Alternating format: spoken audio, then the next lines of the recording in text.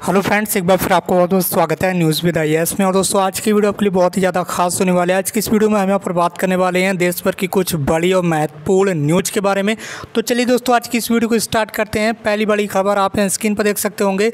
A P स्थगित करने की तैयारी, सोलह मई को प्रस्तावित है मुख्य परीक्षा। अब तक प्री का रिज़ल्ट भी नहीं आ पाया इसके साथ ही बात कर लेते हैं विस्तार से। सबसे पहले आप यहाँ पर देख सकते हैं, पी सी की मुख्य परीक्षा स्थगित किए जाने के बाद उत्तर प्रदेश लोक सेवा आयोग यानी कि यूपीपीएससी अब सहायक अभियोजन अधिकारी एपीओ 2018 की मुख्य परीक्षा भी टालने की तैयारी में है।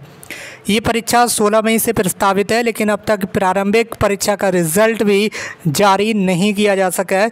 आयोग किसी भी दिन ये परीक्षा स्थगित करने का आदेश जारी कर सकता है। इसके साथ ही अगली बड़ी खबर आप स्क्रीन पर देख सकते होंगे। आईआईटी और ट्रिपल आईटी इस साल नहीं बढ़ाएँगे। ट्यूशन फ़ीस मानव संसाधन विकास मंत्री रमेश पोखरियाल निशंक ने रविवार को कहा कि भारतीय प्रौद्योगिकी संस्थान यानी कि आईआईटी और भारतीय सूचना प्रौद्योगिकी संस्थान यानी कि ट्रिपल आईटी शैक्षिक सन 2020-21 के लिए किसी भी पाठ्यक्रम का ट्यूशन फ़ीस नहीं बढ़ाएँगे। इसके साथ ही अगली बड़ी अपडेट यहाँ पर आप देख सकते हैं। इस रमज़ान ज़्यादा इबादत करें ताकि ईद से पहले ख़त्म हो कोरोना। प्रधानमंत्री नरेंद्र मोदी, न्यू दिल्ली से आज की न्यूज़। सबसे पहले यहाँ पर आप देख सकते हैं, दुनिया को महामारी से मुक्ति दिलाने के लिए प्रधानमंत्री नरेंद्र मोदी ने रमज़ान के पवित्र माह में देशवासियों से ज़्यादा से ज़्यादा दुआएँ करने को कहा है। रविवार को मन की बात में कोरोना संकट का ज़िक्र करते हुए मोदी ने कहा कि किसी ने सोचा भी ना होगा कि रमज़ान में इतनी बड़ी मुसीबत होगी। इसके साथ ही अगली बड़ी अपडेट यहाँ पर देख सकते हैं। फंसे हुए लोगों के लिए स्पेशल ट्रेन संभव। और फ्रेंड्स आपको इस चैनल पर सभी लेटेस्ट अपडेट लगातार प्रोवाइड की जाती है। इसलिए अगर अभी तक आपने चैनल को सब्सक्राइब नहीं किया तो प्लीज़ चैनल को सब्सक्राइब करते हुए बेलाइकन को प्रेस करें। और इस वीडियो को अपने अदर फ्रेंड्स के साथ शेयर कर दें, ताकि सभी लोगों को इन न्यूज़ के बारे में जानकारी मिल सके। तो जैसे कि आप यहाँ पर देख सकते हैं सरकार कर रही है विचार। रेलवे ने भी शुरू की तैयारियाँ। मुफ़्त होगी यात्रा। रास्ते में नहीं रुकेगी ट्रेन। इसके साथ यहाँ पर आप देख सकते हैं लॉकडाउन के कारण जगह जगह फंस गए लोगों को घर तक पहुँचाने पर केंद्र सरकार ने विचार शुरू कर दिया है।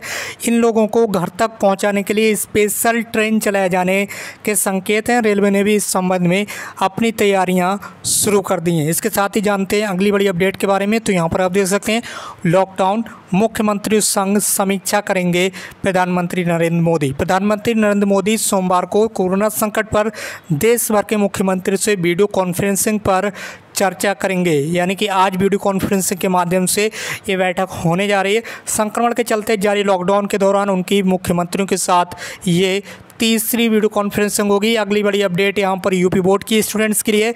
जैसे कि आप स्क्रीन पर देख सकते हैं यूपी बोर्ड ने इसी सन से विषय शुरू करने का प्रस्ताव भेजा है। अब एनसीसी लेने पर एक विषय कम होगा स्टूडेंट्स के लिए। सबसे पहले यहाँ पर आप देख सकते हैं, तैयारी दसवीं में, पाँच और बारहवीं में चार विषय ही यहाँ पर पढ़ना पड़ेंगे। इसके साथ ही एनसीसी की लिखित परीक्षा यूपी बोर्ड कराएगा।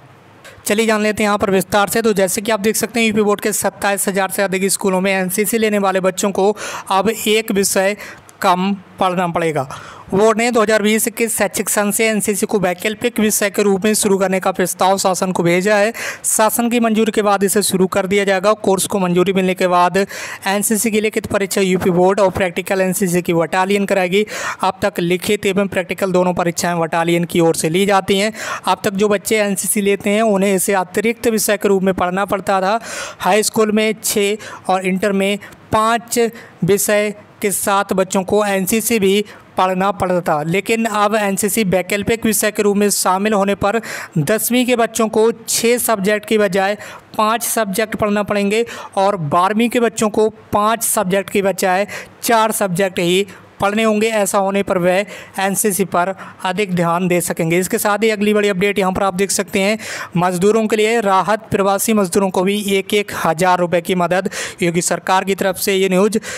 राज्य सरकार दूसरे प्रदेशों में फंसे मजदूरों को यूपी आने पर पंद्रह दिन का मुफ़्त राशन देने के साथ साथ एक एक हज़ार रुपये की आर्थिक मदद भी देगी। आश्रय स्थल में रहने वालों का वहीं पर पंजीकरण करने के बाद ये पैसा सीधे उनके खातों में दिया जाएगा। गैर राज्यों में फंसे करीब 10 लाख मजदूरों को यूपी लाने और उन्हें क्वारंटीन करने के संबंध में अपर मुख्य सचिव राजस्व रेणुका कुमार ने शासनादेश जारी कर दिया अगली बड़ी अपडेट यहाँ पर सीबीएसई बोर्ड के स्टूडेंट्स के लिए आप यहाँ स्क्रीन पर देख सकते हैं। सीबीएसई हालात सुधरते ही 10 दिन में होगी परीक्षा। दोस्तों, यहाँ पर आप देख सकते हैं मानव संसाधन विकास मंत्री रमेश पोखरियाल निशंक ने कहा कि हालात सामान्य होते ही सरकार सबसे पहले दसवीं एवं बारहवीं की बोर्ड परीक्षाएँ कराएगी। कोरोना के खतरे के चलते पिछले महीने कुल तिरासी पाठ्यक्रमों की परीक्षाएँ बीच में स्थगित करनी पड़ी थी। निशंक ने कहा कि सरकार ने फैसला लिया है।